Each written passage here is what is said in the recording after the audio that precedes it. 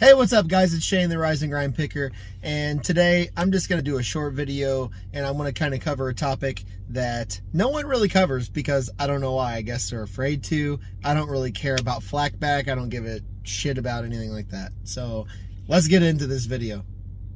I'm an online six-figure seller. Uh, I sell on eBay, mainly lightly on Amazon. Just started back lightly on Amazon and well, I want to cover a topic today about why you see all these YouTubers getting jobs. Uh, you see it like there was like four of them in a row. That's like, hey guys, we're getting jobs.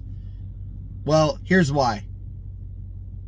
So what I want to say is a lot of a lot of YouTubers, uh, a lot of reselling YouTubers have been getting jobs in the last few months, and I feel like here's why a lot of YouTubers or a lot of reselling YouTubers on YouTube don't really resell that much. They have barely a thousand a thousand items in their store.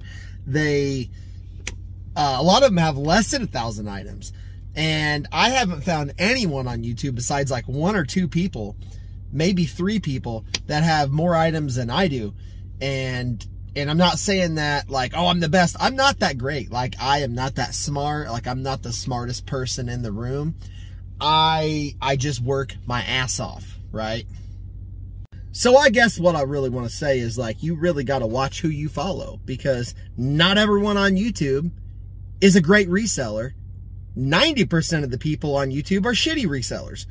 And that's just my opinion.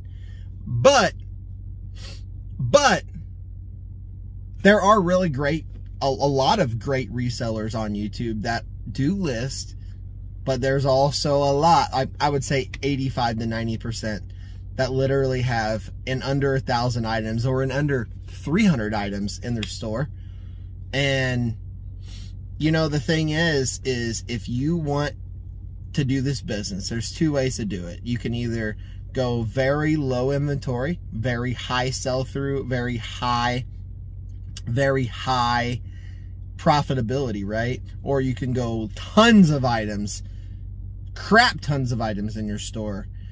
Um, mediocre sell through, run sales, and and and my base sales on eBay right now is I don't know 500 ish, and I have 4,300 items.